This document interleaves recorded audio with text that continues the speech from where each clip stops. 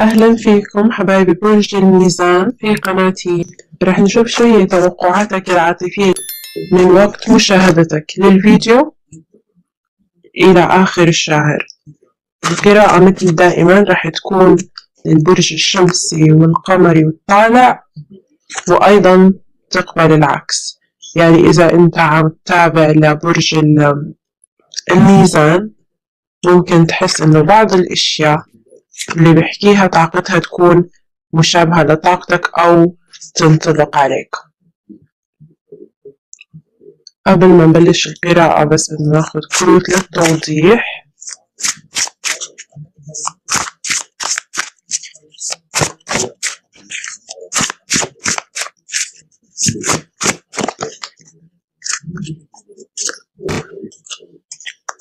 طيب بدنا نبلش أول شي بطاقتك يا برج الميزان نشوف شو هي طاقتك الحالية. بعدين رح نشوف آه طاقة الشريك وخطواته القادمة.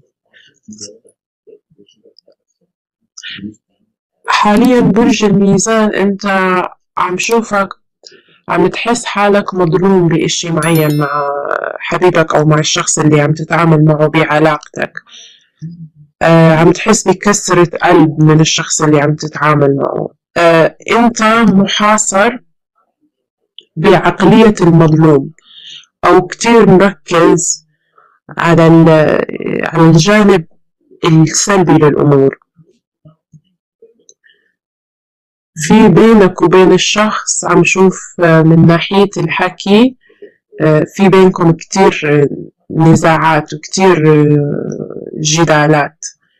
أيضا عم شوف على الجانب آه، الروحاني أنت وهالشخص ممكن تحس إنه هالشخص مش عم يفهمك مثل ما أنت بتريد أو مثل ما أنت بدك. لأنه عم شوف أنت عم تتمنى إنه يف... في بعض عم تتمنى من هالشخص في بعض الأشياء إنه يفهمك بدون بدون ما تحكي بال... بالشيء أو بدون ما تعبر عنه. مرات أحيانا تتمنى هيك. أيضا ممكن يكون في بينكم آه، مشاكل بالالتزام وبالارتباط. في شخص بالعلاقة بيريد إنه يكون أصدقاء فقط أو يخلي الأمور عفوية أكثر وفي شخص عم يطالب أو طرف بالعلاقة عم يطالب بالتزام أو ارتباط ارتباط جدي بالعلاقة.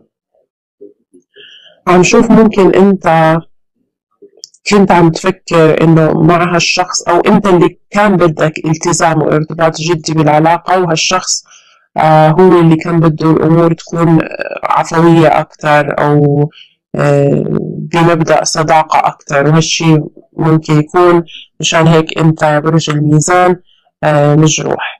طيب خلينا نشوف طاقة الحبيب أو طاقة الشريك حاليا. آه، عم شوف الحبيب أو الشخص اللي عم تتعامل معه مركز أكثر على عائلته أو مركز أكثر حاليا على جوانب حياته آه الأخرى الخارجة شوية عن العلاقة. شوفه مركز أكتر على على مادياته. عم يحاول آه ممكن يكون بهالفترة كتير مركز على مادياته لأنه في عنده كارتين للمادة وأيضا في عنده The Emperor card. فهالشخص كتير مركز على مادياته إلى درجة الهوس ممكن تحكي أو مش سامح لحاله إنه يكون في أي طاقة جانبية أو طاقة خارجية. بالعلاقة. عم شوف إنه حاب يسيطر كتير على وضعه المادي وأيضا حاب يسيطر كتير على وضعه العاطفي. بما إنه هالشخص أو حبيبك شريكك الشخص اللي عم تتعامل معه مش عم شوف إنه في عنده آه، ليونة بالتعامل مع الأمور.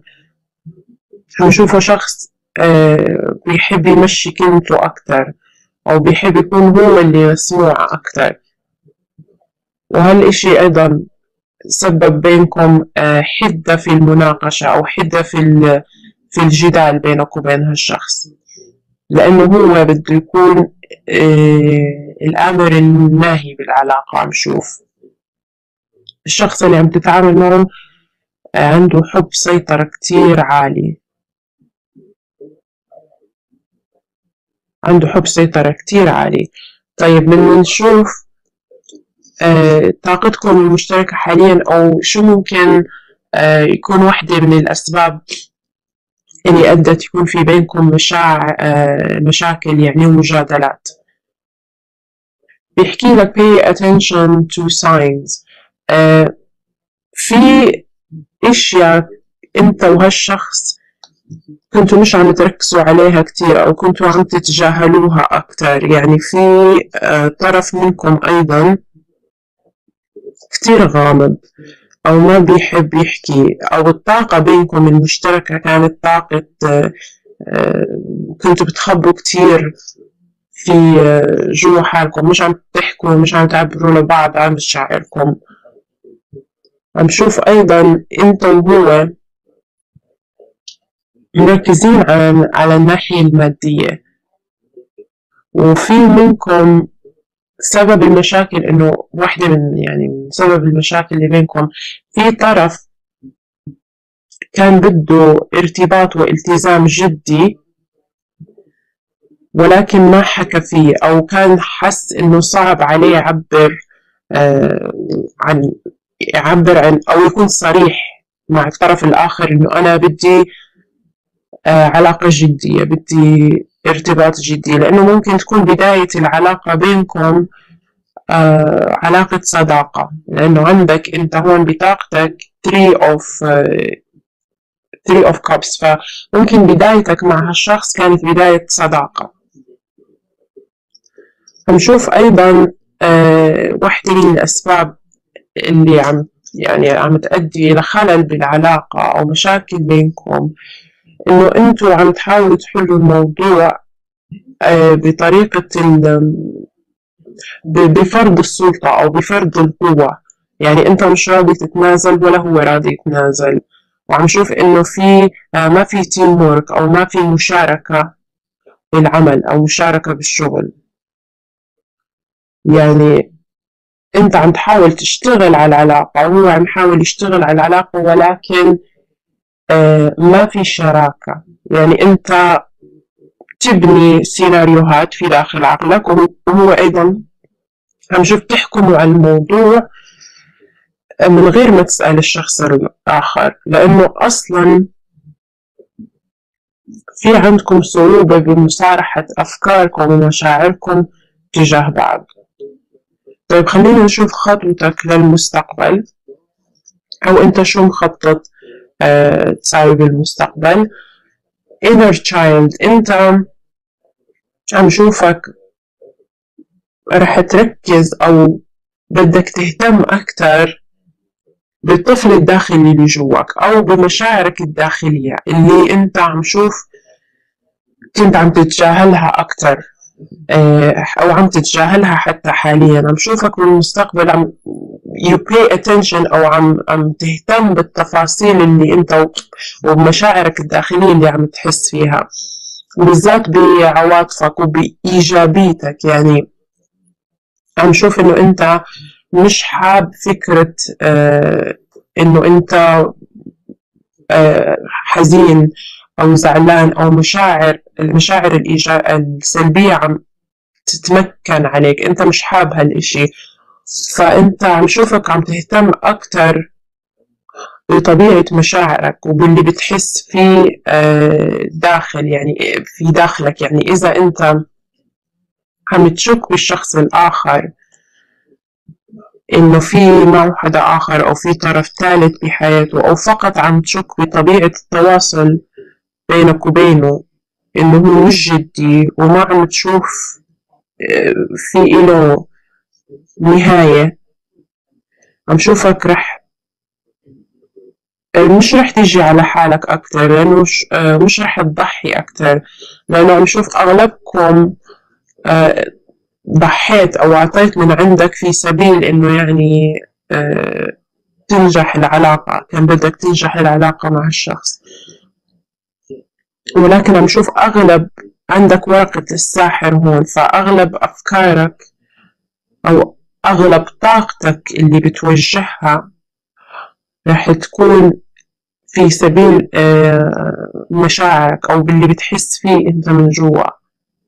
عم شوفك أيضا وفي عندك مشروع أو فكرة كرييتيف أو فكرة إبداعية من نوع ما آه، راح تركز عليها أكتر. يعني عم شوفك مركز على حالك أكتر. وكيف تطور من حالك أكتر.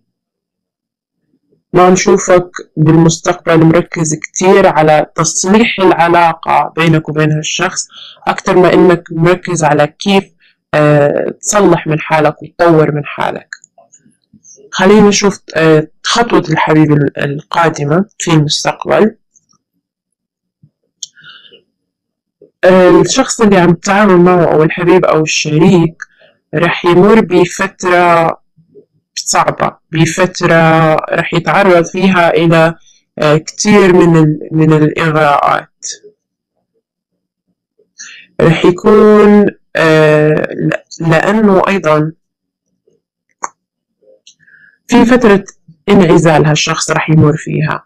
يعني في فترة مش رح تحكي آه أنت مع هالشخص. ممكن تكونوا حاليا منفصلين. أو ممكن يخف التواصل أو يخف الكونكشن بينكم. عم شوف إنه بالمستقبل مش رح يكون هالشخص كتير متحمس إلى فكرة الحب. رح يكون متردد بفكرة الحب أو بفكرة العلاقة بينكم لأنه في عنده شكوك ومخاوف داخلية إنه إنه أنت أو برج الميزان في عندك أطراف أخرى. في عندك طرف ثالث. عم شوف إنه هو أيضا إذا في عنده عروض حب خارجية عن العلاقة ما عم شوفه مقدم على علاقة جديدة. عم شوفه مركز أكتر على روحانياته هالشخص لأنه في عنده مخاوف بالعلاقة. أيضا إذا أنت إذا هالشخص أنت حاس حالك أو آه، أو ممكن العلاقة بينكم حسيت إنك انظلمت فيها عم شوف هالشخص مركز أكثر على إنه يكون آه، عادل أو بده يكون يعطي يعني بال ينصف في حق العلاقة. عم شوفه مش عم يحاول يكون متلاعب أو إشي مثل هيك. بده الوضع بينكم يكون ناصف وحقاني أيضا طاقته رح تكون سريعة لأنه في عندك كرت هوائي هون.